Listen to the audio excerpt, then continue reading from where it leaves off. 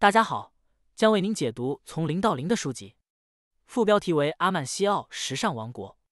阿曼西奥，也许你第一次听说这个名字，一点都不奇怪。这位神秘的西班牙人号称从来不露面，自从二零零四年以来，他的名字就一直排在世界富豪榜的前列，甚至超越了比尔盖茨，成为了世界首富。很长一段时间，全世界的媒体都只找到了他年轻时的照片，谁也不知道他长什么样子。直到他六十三岁的时候，阿曼西奥才将自己的照片公之于众。后来，为了稳定公司的股价，他还发了一张全家福。但是对于银迪德这个由他一手创立起来的时尚王国，我们是非常熟悉的。银迪德是服装品牌 Zara 的母公司，旗下除了 Zara 之外，还有九个品牌。根据福布斯排行榜。全球服装界排名前三的企业包括奢侈品集团迪奥、英迪德、耐克、英迪德等品牌。Zara Zara 如此成功，其核心秘密是什么？今天出版的这本书可以为我们提供一个合理的解释，而这正是本书的最大价值所在。这本书主要讲述了阿曼西奥的生平以及他打造银迪德的过程。我曾经在商业杂志当过记者，特别理解遇到这样低调的企业家。采访和写作是多么困难。该书的两位作者布兰科·萨尔加多均为西班牙媒体，他们也知道，想要从阿曼西奥那里得到情报是不可能的，只能从他身边的人下手了。这本书讲述的是那些跟随阿曼西奥征战天下的人。当然，在接受采访之前，他们必须先征得阿曼西奥的同意。关于阿曼西奥和扎拉的商业书籍，很多都是研究的。我之所以选择告诉你这本书。是因为它的内容是由阿曼肖亲自把关的，虽然他愿意把这些事告诉我们，但是我们只有一个人知道。下面我要告诉大家的，就是大家一直想问的问题：阿曼西奥究竟是怎样的一个人？他是如何白手起家建立起自己的时装帝国的？Zara 品牌改变了时尚产业的规则和常识，它的核心秘密是什么？在开始第一个问题之前，我们先来看一件奇怪的事情。通常。大型服装公司的总部不是靠近行业趋势的地方，比如像巴黎、米兰这样的世界时尚之都，要么就是距离原材料比较近的城市，要么就是选择纺织工业比较发达的城市。但英迪德的总部却在阿尔泰修，位于西班牙的偏僻小镇。而且，英迪德的总部自从1985年成立以来，不管规模有多大，总部就从来没有换过。曾经有人建议阿曼西奥将总部迁到其他地方。这样才能让他的生意更好。但是阿曼西奥为什么不搬走呢？因为总部大楼是用他的名字缩写命名的，所以自从大楼建成后，他就决定把它保留下来。在他看来，遵从本心比做生意更重要。事实上，阿曼西奥的个人决定对于银迪德来说是多么重要。想要真正了解 Zara 成功的秘密，我们必须先了解一下阿纳西奥的基因。书中的名字隐藏着一种文字游戏。而零则是一片空白的起点。Zara 的首字母 Z 也是西班牙语中最后一个字母，代表着事业进化的结束。毫不夸张地说，阿曼西奥从无到有。一九三六年，他出生于西班牙加利西亚的一个贫苦家庭。当时，西班牙平民家庭只供一个孩子上学。阿曼西奥家里有三个孩子。从那以后，他就开始接触服装行业。阿曼西奥在服装业干了十多年，积累了不少基层的经验。比如送货，比如跟顾客聊天，还有缝制衣服。一九六三年，二十七岁的阿曼西奥在拉玛哈一家高级服装店上班，很多炎帝创始人就是这家服装店的员工。那年，阿曼西奥开始了他的家庭事业。首先要做的就是在服装界站稳脚跟。一开始，这家小作坊生产的是棉质婴儿摇篮，卖给商店，但是利润很低。阿曼西奥注意到。客人们总是盯着拉玛哈橱窗里的女士家居服看，居家服是他们平时在家穿的休闲服，讲究的是舒适和方便，所以他们买了一套粉色的家居服，拆开来学习怎么做。根据这件居家服的式样，他们画出了自己产品的质量，并把第一批产品缝制出来。女士家居服是 Zara 品牌的起点，Zara 的第一家店主要销售女装。阿曼西奥靠着家居服在服装界站稳了脚跟。我把整本书都翻了一遍，也没发现他有过什么奇遇，也没见过什么大新闻。在那之后的四十多年里，他一直遵循着自己的常识，做着和同行们一样的事情。但是在这些基础的事情上，他总是会比别人更认真、更快，所以他才能取得这么大的成功。何凡老师在变数中把这种成功模式称为“苟且红利”，也就是说，如果你比别人更努力一些，那么你就可以轻而易举的淘汰掉无数的竞争对手，赢得属于自己的市场。这里并不存在什么秘密，但是对于中国目前的经济来说，这是最大的红利。刚开始创业时，阿曼西奥的成功之处在于他能更快地反映顾客的需求，总是比别人想的更多。白天，阿曼西奥和叔叔、哥哥们在拉玛哈做销售。收集市场信息，把消息带回家。妇女们根据这些消息，在车间里迅速缝制家居服。男人在上班的时候，把自己的居家服卖给商店。这些家居服卖得非常好，因为他们掌握了市场行情，卖的都是顾客想要的东西，自己设计、自己生产，还能快速交货。阿曼西奥也对居家服的设计进行了改进。那时候的传统女士居家服就像是两个袖子的布袋。阿曼西奥的家居服在裁剪、设计、面料上都是顶级的，穿在身上就像一件漂亮的外套，非常受女性欢迎。阿曼西奥也能发现顾客没有表达出来的潜在需求。有设计的家居服务一般都是对身材有要求的，很多身材丰满的女人穿不上，只能羡慕别人。所以他又做了更大的、更大的、更大的，适合任何体型的人。这一举措直接促进了居家服的流行。在六十年代中后期，许多当地妇女穿着阿曼西奥的居家服上街。我们买衣服，除了看款式、看是否合身，还有就是价格。整个 Zara 产品的定位和定价策略，简而言之，就是以大众能接受的价格出售流行的中高档服装。这种想法其实与阿曼西奥童年时的经历有关。十二岁那年，阿曼要跟妈妈去买东西，结果妈妈什么都没买到。因为售货员说他不能赊账买东西，那个时候阿曼笑已经下定决心，以后再也不会让母亲遇到这样的事情了。在未来的产品设计中，他一直致力于尽可能低的价格。女人买东西都是全方位比较价格的，那个时候大部分的家居服都很便宜，质量也很差。阿曼西奥的家居服质量要好很多，价格也要贵一些，也就是说，它的性价比是最高的。女人们都愿意买，但要做到这一点，靠的不是打亏本的价格战，而是要有雄厚的经济实力，才能迅速打击竞争对手。阿曼西奥的小作坊里只有一百多平米，所有的机器、布料和工人都挤在一个狭小的车间里，机器都是赊账买来的，根本打不起价格战。它的价格控制取决于当时所有人都觉得奇怪的价格规则，那就是不按成本定价，而是按预期销售来控制成本。这个设计非常合理。家庭作坊的产能有限，少量生产的话，库存压力不大，卖完了也不用担心亏本卖掉。降价清仓所造成的损失不会转嫁到商品的价格，从而使商品以合理的价格出售。顾客买的物美价廉，觉得物有所值，不断购买。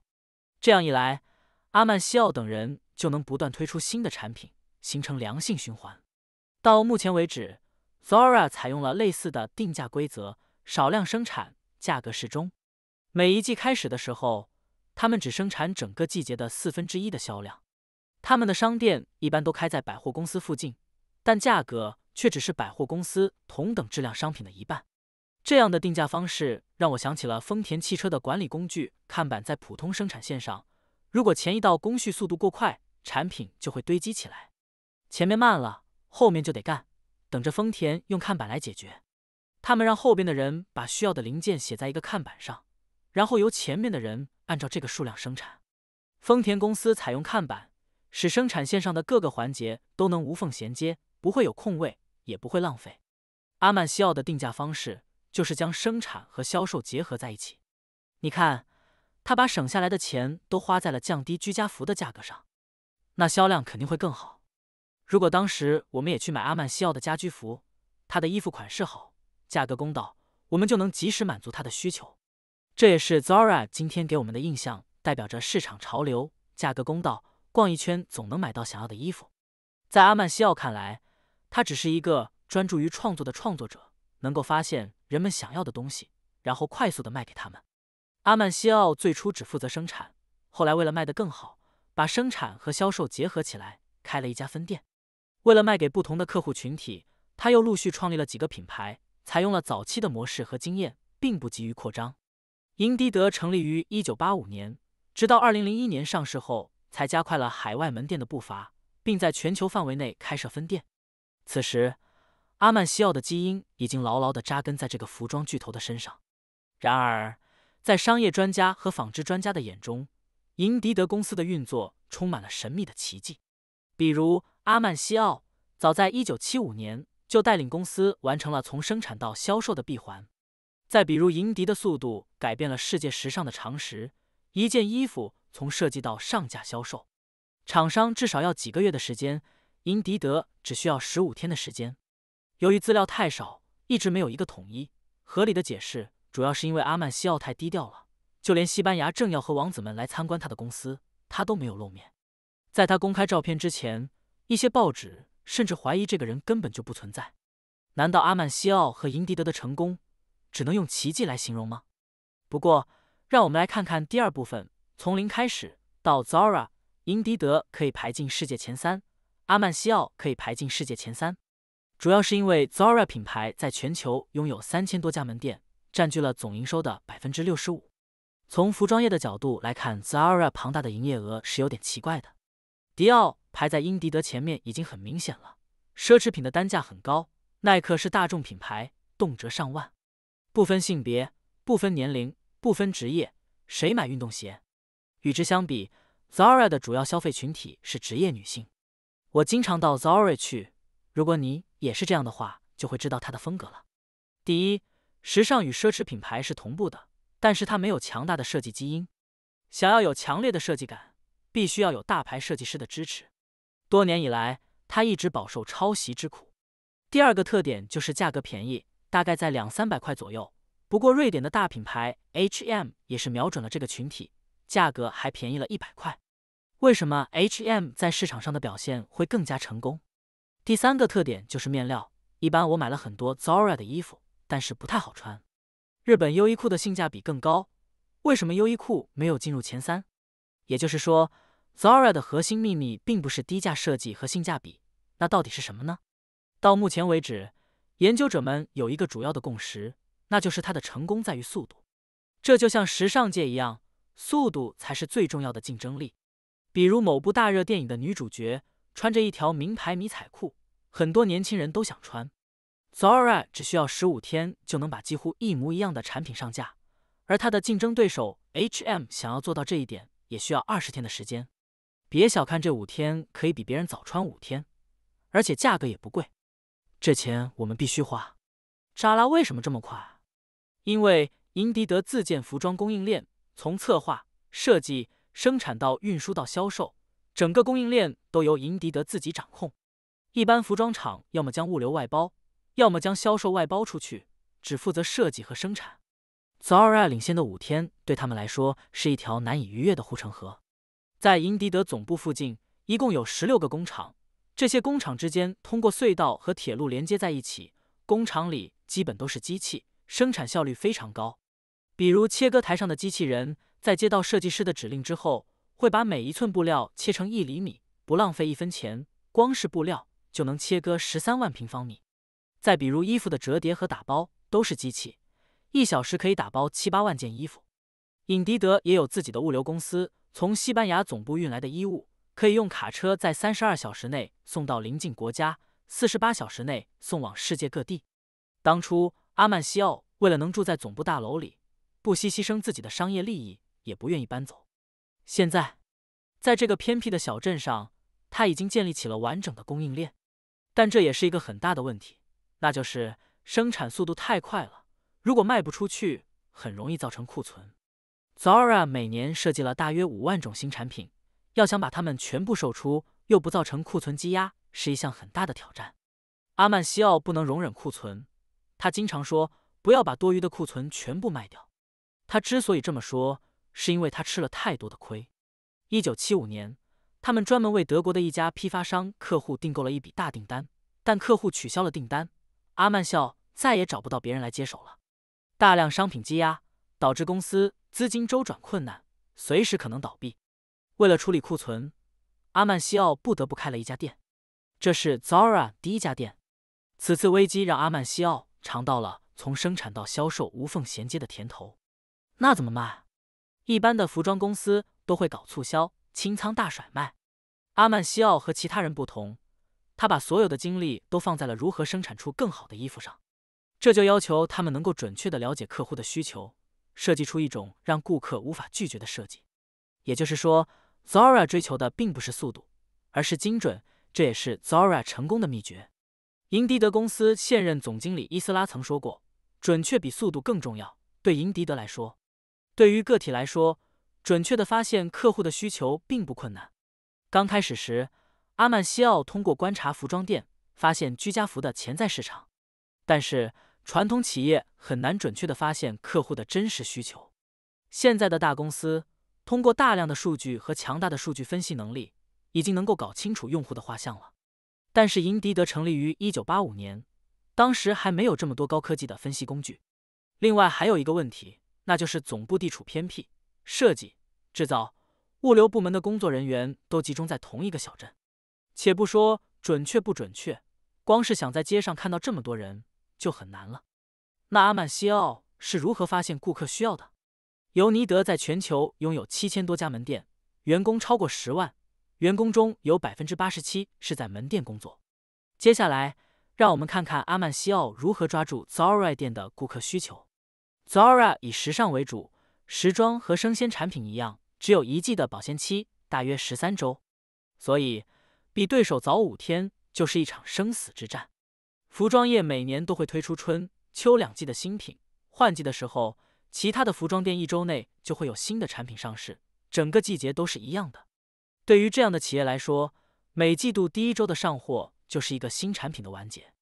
而 Zara 的店铺则不同，他们每周都会有两次更新，每一季都会有新的产品上架。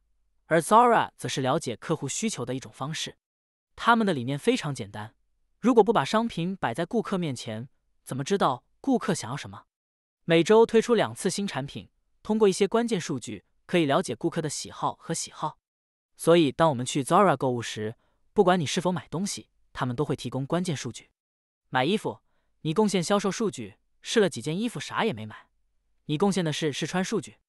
一件衣服是穿了多少次，顾客是否感兴趣？Zara 店也会收集每一家店的员工每天早上和晚上收集到的信息。然后反馈给总部，有了这些资料，Zara 就能掌握客户的需求，到时候再增加生产还来得及。顾客喜欢的款式肯定要做的更多，但是 Zara 不会增加生产相同款式的服装，而是需要改进。例如，在2006年，有一件外套非常流行，Zara 的设计团队很快推出了一系列的外套。这些外套剪裁相似，但是面料和图案却完全不同。女人买了自己喜欢的衣服。就会买不同的颜色、不同的布料。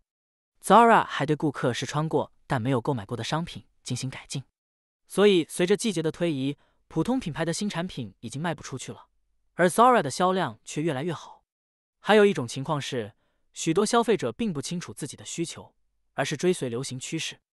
银迪总部一共有七百多名设计师，负责收集流行资讯。设计师之间没有明显的层级划分，当决定产品创意时。每个人都有发言权。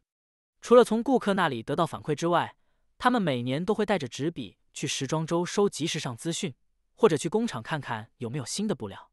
现在流行哪种面料、颜色、布料的成本，设计师们都得心里有数。说到这里，你也许想出去采风，然后再回来快速设计，这不就是抄袭别人的想法吗？当我看到这个细节的时候，我的第一反应就是这个。有人说，Zara 的成长史其实就是抄袭史。要知道，阿曼西奥第一次做家居服的时候，也是从别人那里学来的。他们一开始并没有把注意力放在原创设计上，但看完了另一本关于 Zara 的书后，情况就完全不同了。如此成功后，我明白了为什么 Zara 的设计团队并不注重原创。简单来说，Zara 设计的初衷并不是为了原创，而是为了搭配。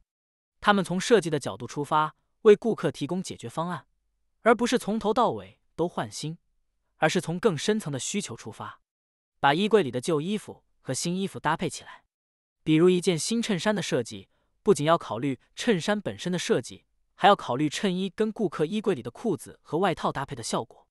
你会发现，这家店不是卖衣服的地方，而是一个大衣柜，里面的衣服都是按照流行趋势来搭配的。如果你去过 Zara 的几家店，就会发现里面的摆设大同小异，墙壁、桌子、衣架上都摆放着衣服。这不是为了偷懒，而是为了方便。墙上的大桌子和衣架都是固定的组合，起到不同的作用。墙壁区域相当于展示最新流行颜色和风格的时装发布会。大桌子上摆满了衣服、衣架、裤子等适合当地气候的商品。夏天则是轻薄的布料，冬天穿羽绒服。为了帮助顾客了解流行服饰，Zara 还专门对店内商品的颜色和花色进行了限定。您可能已经注意到，Zara 产品的基本颜色是黑白相间的。如果今年流行的颜色是绿色的，那你可以看到墙壁上的绿色和基本颜色的商品。如果某一季的主题是狩猎，服装上只有豹纹图案，那么你就可以看到豹纹和基本色的搭配。这些设计的目的就是要让顾客们看到当季的新衣服该如何搭配衣柜里的旧衣服。这时，我想起一位管理大师克里斯坦森，他认为，想要了解用户，并不是为了了解用户本身，而是为了了解用户购买该产品或服务的目的。最简单的例子是，用户没有买电钻，而是想在墙上打个洞。这个观点在 Zara 看来，并没有满足顾客购买新衣服的需求，而是满足他们为旧衣服买新伙伴的需求。至此，本书从无到有的精华内容已经在这里了。解读完之后，我们才知道，阿曼西奥之所以能在服装行业站稳脚跟，就是因为他比同祥更认真、更快的做出反应。很多人认为 Zara 和英迪德的成功归结于速度，但是这家服装巨头并不追求速度，而是追求精准。通过每周两次上新，发现顾客真正的需求，再将顾客反馈融入设计流程，从而增加顾客愿意购买的产品。最后，我要跟大家分享一个阿曼西奥少有的小道消息。书中解释说，作为石油大王洛克菲勒的忠实追随者，阿曼西奥曾经决定严格遵循洛克菲勒的遗训：报纸最好的曝光模式就是刊登你的出生、结婚和死亡。在他看来，将自己的照片公之于众，这是银迪德集团第一次年报中的牺牲。你看，他把洛克菲勒的话当成了自己的野心。